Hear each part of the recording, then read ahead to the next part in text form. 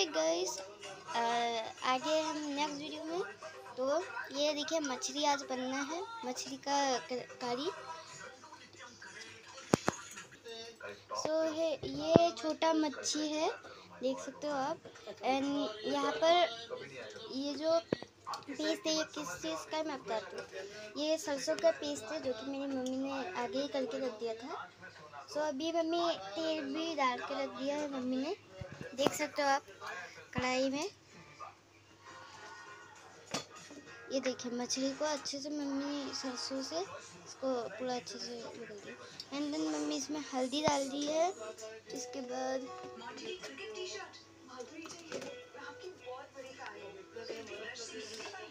इसके बाद थोड़ा सा नमक डालेंगे।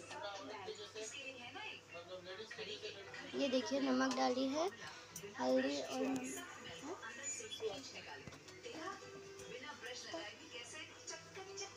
और अभी कच्ची मिर्ची डाली है और मिक्स कर ली है, तब अच्छे से। अभी प्याज डाल है, ये देखिए, तेल में।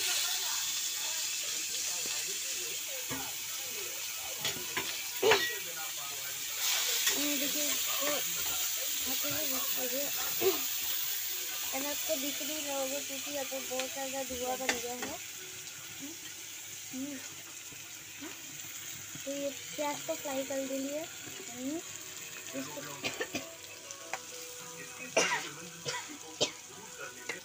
तो अभी मछली को डाल देंगे मम्मी। देखिए हम ये छोटी मछली है। प्याज और मछली को अच्छे से थोड़ा सा इसमें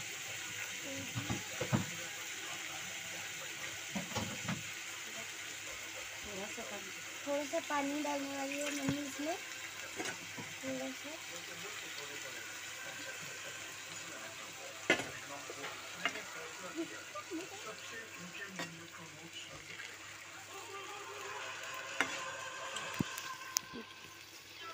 अच्छे से मिला देंगी मम्मी।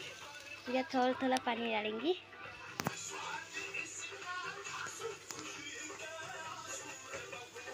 उसके बाद मम्मी इसको पाँच मिनट के लिए ढक देंगी। अभी मम्मी फिर ढक इसका ढक्कन को खोल देगी। जो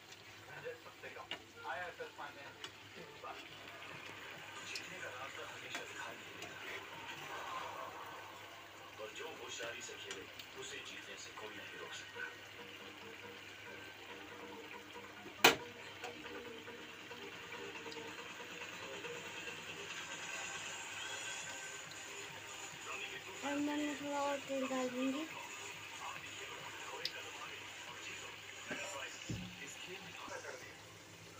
अभी मम्मी धनिया डाल डाल दी है मछली में।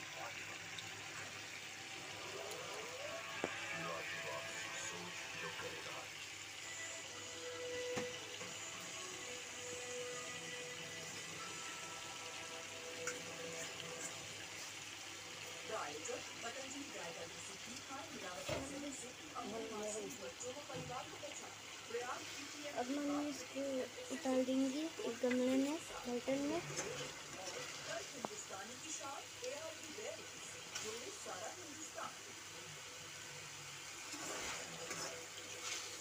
गुवाहाटी के होटल में पहली बार सामने आए एक बार फिर ने कहा जल्द जाऊँगा मुंबई शिवसेना में। हूँ शिवसेना को आगे ले जाऊँगा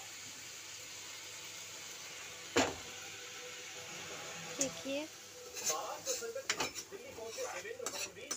पूरा उतार देंगी गमले में। कंप्यूटर में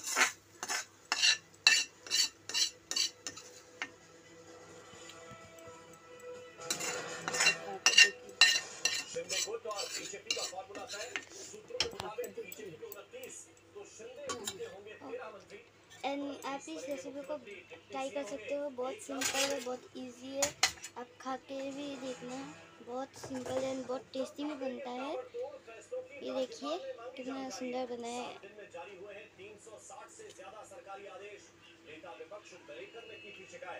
देखिए तो फिर वीडियो को यही, यहीं पे एंड करते हैं। And thanks for watching and like share and subscribe कर दीजिएगा। थैंक यू जो भी हमारे इस वीडियो को देख रहे हैं प्लीज़ प्लीज़ प्लीज़ वो लोग लाइक शेयर एंड सब्सक्राइब कर दे प्लीज़